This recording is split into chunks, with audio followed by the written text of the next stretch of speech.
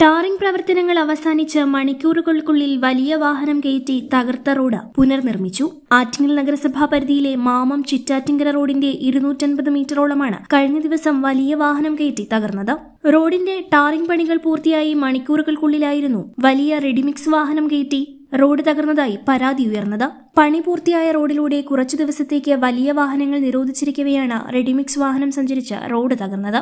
നഗരസഭാ അധ്യക്ഷ advocate S കുമാരിയും നഗരസഭാ സെക്രട്ടറിയും എഞ്ചിനീയറും വാർഡ് കൌൺസിലറും വിവരമറിഞ്ഞ് സ്ഥലത്തെത്തി സ്ഥിതിഗതികൾ വിലയിരുത്തിയിരുന്നു. കോൺക്രീറ്റ് മിക്സ് ആവശ്യപ്പെട്ട സമീപത്തെ സ്വകാര്യ വ്യക്തി തന്നെ റോഡിനുണ്ടായ നാശനഷ്ടങ്ങൾ പരിഹരിച്ചു നൽകാമെന്ന് ഉറപ്പു നൽകിയിരുന്നു.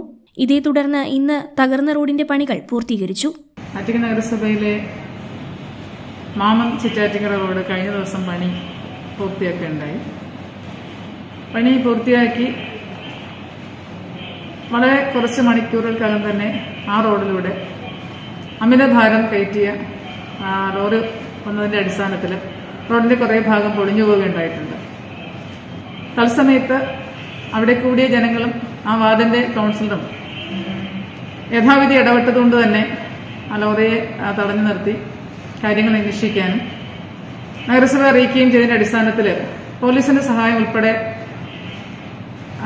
കിട്ടിയതനുസരിച്ച് സ്ഥലത്തെത്തുമ്പോൾ ലോറി കൊണ്ടുപോയ ആളുകളുമായി സംസാരിച്ചതിൽ അവർ തൊട്ടടുത്ത ദിവസം തന്നെ റോഡ് ശരിയാക്കി തരാമെന്ന് പറയുകയും അതനുസരിച്ച് കരാറുണ്ടാക്കുകയും ചെയ്തിരുന്നു. ഇന്ന് തന്നെ ആ റോഡ് പണി പൂർത്തിയാക്കി കിട്ടുകയും ചെയ്തു. H P news Attingal